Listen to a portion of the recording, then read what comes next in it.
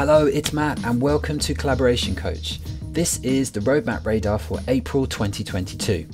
This time I've got lots of new features for Teams to show you, including workflow, loop components for chat, and a soft focus to make us look nice in meetings. And we'll look at the new templates coming from Microsoft Forms. This is a new feature for Teams that allows us to create simple workflows. It's built on top of Power Automate, but it simplifies the creation process and takes some of the friction out of it. It will let us automate repetitive tasks and processes that link one or more apps in Teams. Some workflows can be run manually and some are just automatic. When workflows are available, you can go to the Teams App Store and you'll see a new workflows section the workflows are organized into categories and you can search for them here too. So for example, this follow up on message workflow will send me a reminder to do something in my activity feed. I can choose it from the list and with a couple of clicks, it's ready to go.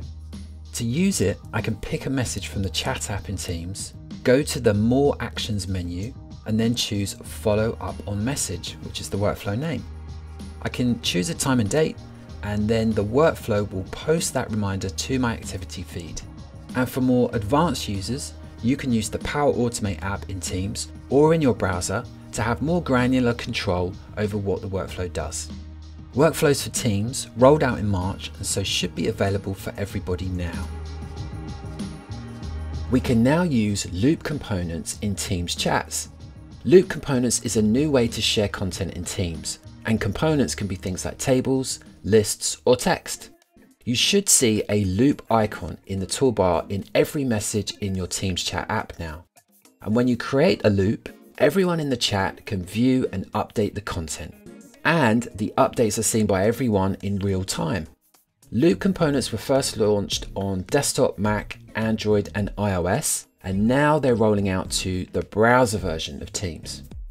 Whenever you create a loop in chat, they're stored in your OneDrive in a folder called Microsoft Teams chat files. Today they have a .fluid extension, but that's going to change to .loop as part of this update. These .loop files can be moved around and shared, and you can apply governance features to them like auditing, reporting, and version history, just like a normal file. This loop component for Teams chat update should be available to everyone now.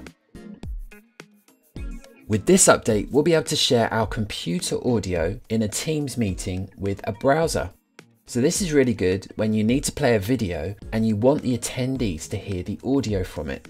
Any attendee who can share a screen in a Teams meeting can use the Google Chrome or Microsoft Edge browsers to share computer audio along with a window or a desktop screen share. Note here that it isn't available for Safari yet. This update should roll out during April. With this update, we'll be able to create Power Apps using Microsoft lists from inside of Teams.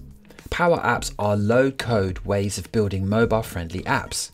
And with this update, we'll be able to build a Power App based on the data in a Microsoft list and then add it as a tab in a Teams channel. So everyone who has access to the channel can update the list. You just need to add the list to Teams, then go to the Integrate dropdown and choose Power Apps and then create the app.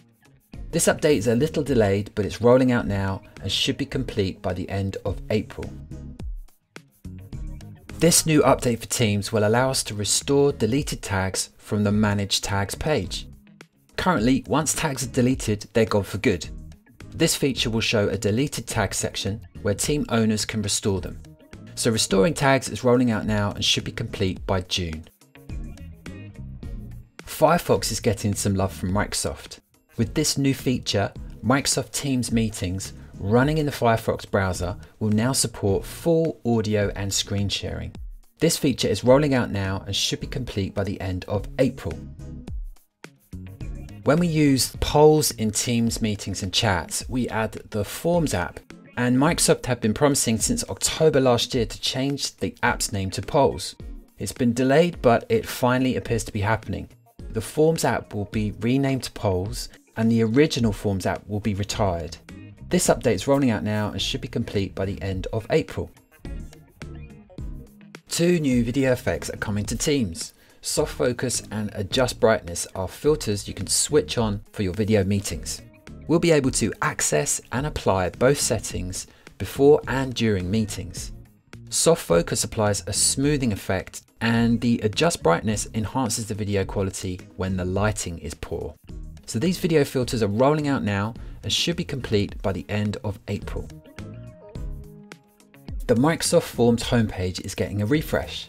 The layout is getting an update so it's easier to create new forms and quizzes and find your forms. And we'll soon have a choice of templates to select from when we create a new form. The templates will be available from the Forms homepage and they'll have questions and formatting already created for you to speed up the process. There'll be a bunch of different scenarios with a specific goal in mind, like event planning and feedback surveys and well-being questionnaires. These new updates for forms will roll out at the end of April and should finish by the end of May. So that's your lot for this month. Thank you so much for watching the Roadmap Radar and I'll see you next time.